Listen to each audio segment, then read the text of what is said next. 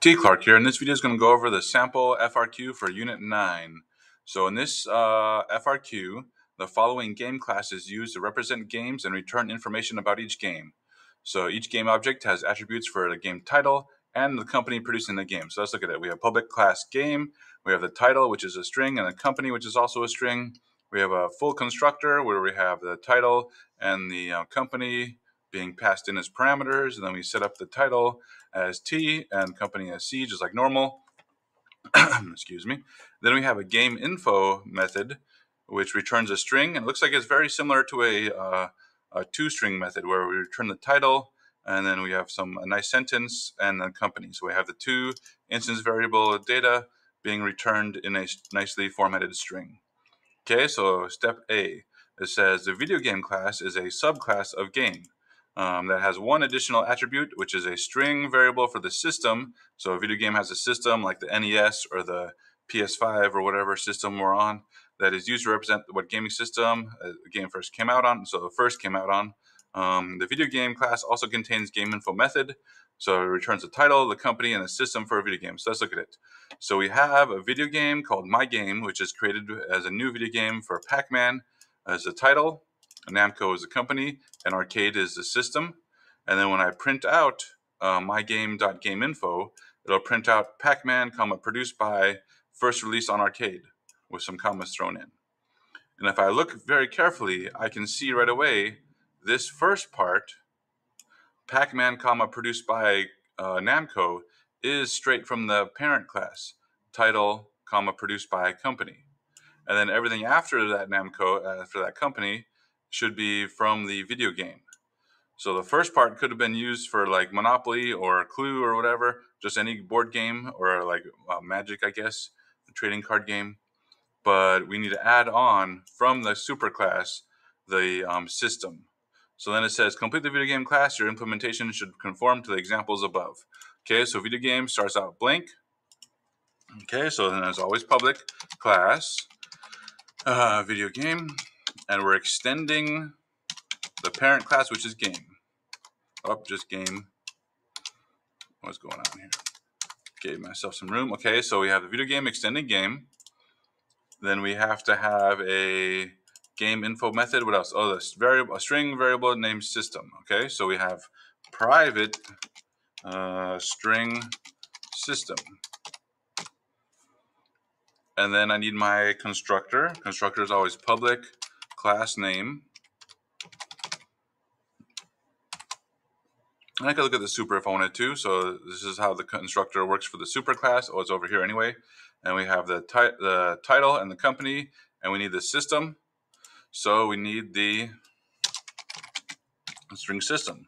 And then whenever I extend a class, the first thing in my constructor has to be a super parenthesis. So super call, and what does this super call need? Oh, I don't need to switch tabs. I can look over here. It needs the title and the company. Oh, and if I look over here, I need not just the S, but I need all of them. I need string title, which would be Pac-Man, and then string company, which is the Namco, and then arcade. So I have to match my constructor for the subclass is not just the extra variable, it's whatever is given in the example. So my example has Pac-Man Namco Arcade, so title, company, system. Title, company, system, and they're all strings in this case. And then now I can use my super call, and the super needs what? My parent class game needs a title and the company, so I just pass along. I say, parent class, you take care of the company, or the title and the company.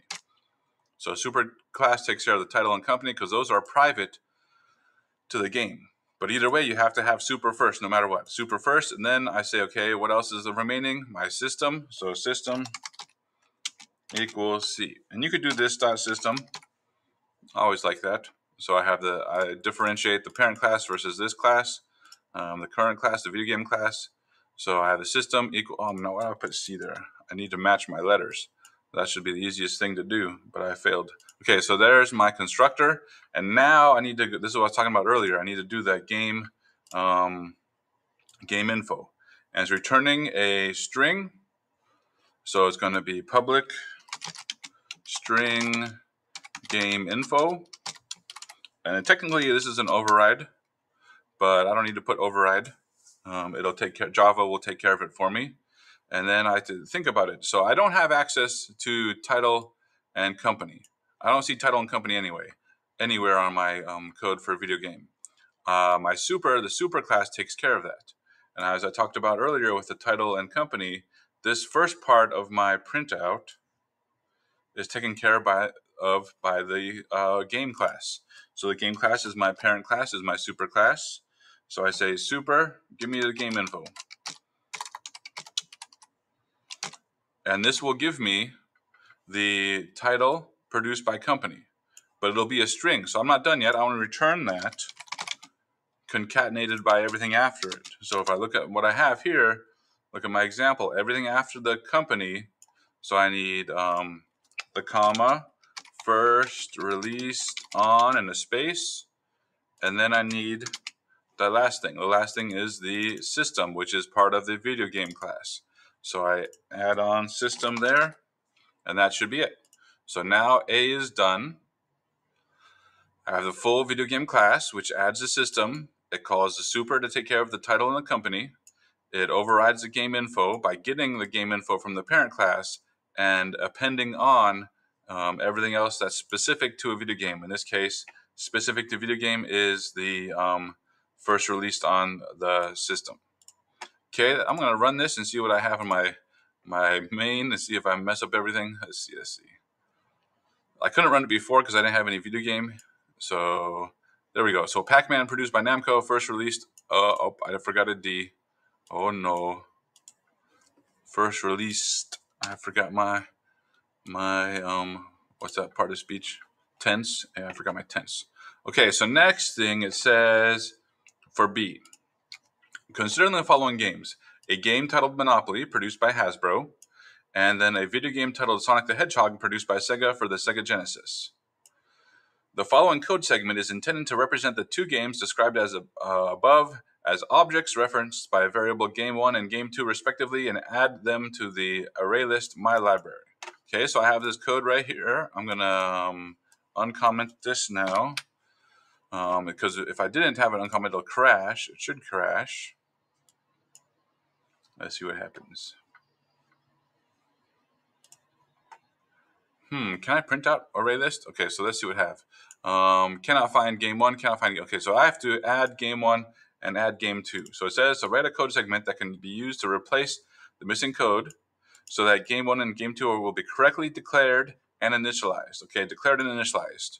So in this case, there's two different things because declaration, they both have to be games. They both have to be able to fit into this array list of games. So I need to say game, game one, and game, game two. And then I know that the first one is just a normal game. So game one equals new game uh, is Monopoly, and the company is Hasbro. So you can always have the same type on the left and the right. That's what we've been doing forever. Game, game. Um, and then I want to make game two. Game two is that Sonic the Hedgehog is a new video game. So when you're doing two different, um, uh, like extending superclass subclass, the superclass goes on the left and the subclass goes on the right. You cannot do this. You cannot have video game on the left and game on the right because game Remember, game, we need what? We need three things for a video. We need a Sonic the Hedgehog. Oh, this is kind of long. And then we need the company. So this is fine right now. But if I have a new game and I try to give it a, um, what you call it, uh, system, Sega Genesis, that wouldn't work. But even if I did have the same constructor or default constructor or something, having the subclass on the left is no good. The parent class, the superclass goes on the left, and the subclass, the child class, goes on the right. Video game. And then if I run it, let's see what I get.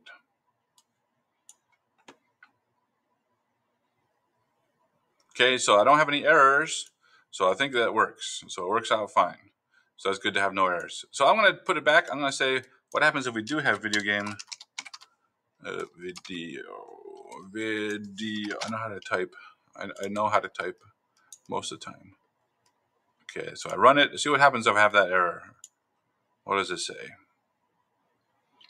It says constructor game cannot be applied. So I can't even do it. Um, so let's see if I have, if I try to just have the company and the title without the system. Let's see what error that is. I have the subclass on the left. Oh, it says incompatible types. Game cannot be converted to a video game. So game cannot be converted to the video game. That's the error we see. Um, but a video game can be converted to a game. So a video game is a game because it is a subclass. Let me put everything back the way it was. What was it? Uh, Genesis.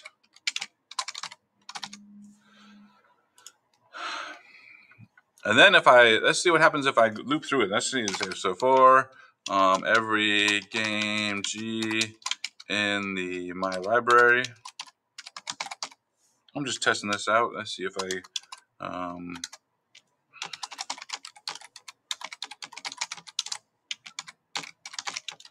let's try printing out the game info. Let's see what I get if I print out the game info for every game in this um, my library list. Okay, I get Monopoly, produced by Hasbro, and then Sonic the Hedgehog, produced by Sega, first released on Sega Genesis. Okay, so it looks like that um, it's calling whatever is the subclass override. So it looks like it works out. So this is uh, actually this is all you have to write for part two. Um, game game one equals new game whatever. Game game two equals new video game whatever. And again, the subclass on the right, the superclass on the left.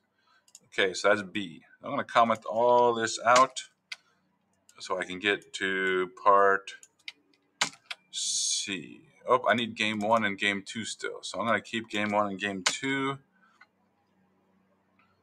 Okay, so C says the game listing class is used to generate descriptive listing for a game. The game listing con constructor takes a game object and a double. So we have two things in the constructor value, um, a double value as parameters and uses them to return information about the game along with its price. Okay, so it looks like the double is the price. We're adding on the price. We can assume that the objects referenced by Game 1 and Game 2 are created as specified in Part B, so that's why I uncommented right here. So Part B is still good. Um, the following table demonstrates the intended behavior of the game listing class using objects referenced by Game 1 and Game 2. Okay, so we have a new game listing, listing 1, and we want to print out the description.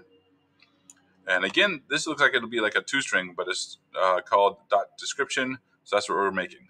And it'll print out Monopoly produced by Hasbro. So that looks very familiar. It looks like the same game info as we had before. So title produced by company. So that's that game info. Then we add on that 19, the price, the 1999. Same thing for listing two. We have that game info um, that we just saw when I printed out all of them in a for loop. And then it prints out that comma and then the price. Oh, this should probably have a dollar sign on here. I fail. So a dollar sign should be part of this. Yes. Uh, hopefully you didn't mess up when you're trying on your own. Okay, then it says complete the game listing class below. Your implementation should conform to the examples.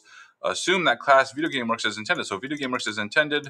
Um, so that game info uh, call still works as normal. So that's what we want to use. Okay, so game list is nothing. So game list class is just a normal class. Public, what, why am I not typing? Public class game listing. And again, we're not a uh, subclass. We're not doing a subclass or superclass game listing. Game listing is separate because it has, instead, it has a game object. And it should be private. These always are private up top. Game uh, G, I'll just say game G and then private double price. Okay, then the constructor, if I have a new game listing, takes a game and a double, uh, game and a double. So public game listing. What do we got here? Game G and double P. Okay, now I need to have this dot g equals g, and then this dot price equals p. So we go. I'm just passing along the variables. G, the game up here is going to be whatever G is, and then price is P. I could have called this game, but whatever. Um, G is fine. And then, and on the on the actual AP exam, you can name your variables whatever they are. The only thing that matters is that it's the same type. The same type. It's nice to have either G or game. That way the readers can follow along, but the type is what matters. So it has to be game and double. Um, and then I need to have what? Description. Okay, so description looks like it's, it's very similar to a toString. So it's public string, description, uh, description, and there's nothing in the parentheses, nothing in the parentheses here, no parameters. So no parameters here. Okay. Excuse me. So I need to return the string. It's going to be a, I'm going to format it on the fly. It's going to be the first part is that call to call to game info. So I have my G variable, G dot game info. And it doesn't matter if it's a game or a video game. Like I, like I showed you in the main, when it was just uh, G dot uh, game info, here it printed out the full one. It printed out the normal game one and it printed out the video game one because the video game one basically overrides the uh, parent class one. Okay, then I need what? I need the dollar sign. That's what I didn't have in my example, but now I do. So I have to put the comma, dollar sign, and then plus price from up top. Okay, I can't put P right here because P is just a parameter. Um, you could have done this dot price if you wanted to, this dot price and this dot game info. But as long as you have it set up correctly, it, you shouldn't need to.